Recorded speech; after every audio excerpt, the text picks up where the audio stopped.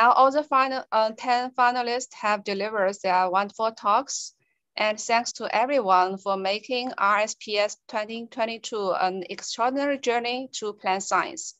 And last but not least, um, please join me to welcome Professor uh, Sheng Luan from the University of California, Berkeley, and also Editor-in-Chief of Molecular Plant to make a concluding remark. Please, Professor Luan. Hello, hello. Uh, hi, everyone. I'm sure we have all enjoyed the outstanding talks by our rising stars in plant sciences. Uh, as, we're, uh, as you know, we're celebrating our 15th anniversary for Molecular Plant and also uh, our recent establishment of the sister journal Plant Communications. Through the years, we have been always following our initial mission. Uh, that is, we wanted not only to establish uh, leading journals in plant science, but also build platforms and bridges for communication and collaboration among all researchers in the international community. So this Rising Star event is just one of such community building effort.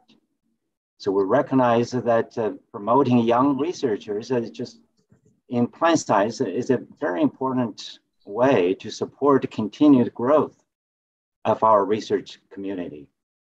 So we're so proud to be part of this very important effort and we will continue similar activities into the future. So we're very excited to witness the excellent science from today's young sci- uh, scientists and hope you will join us next time for this and other community event. So please join me to thank Xiaofeng, Wenjia, Rong, and other members of the editorial team to put together this wonderful event and the scientific committee members for their hard work. Thank you all for joining us. See you next time. Xiaofeng, Bing, and other members and committee you guys have uh, any final word? Thank you very much. Thank you, Thank sir. you. Thank you. Thank you, everyone.